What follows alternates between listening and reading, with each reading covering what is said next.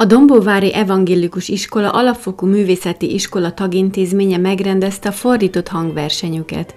Az intézmény igazgatóját kérdeztük a rendezvényről. Már nagyon-nagyon hosszú évekre visszanyúlóan.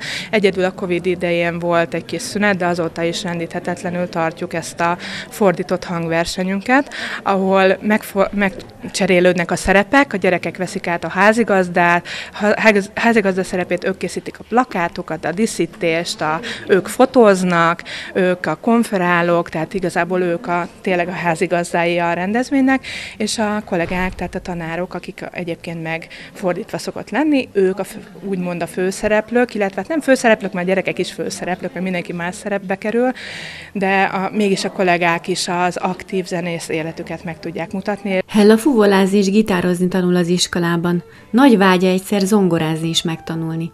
Megkérdeztük tőle, hogy a rendezvényen mi volt a feladata.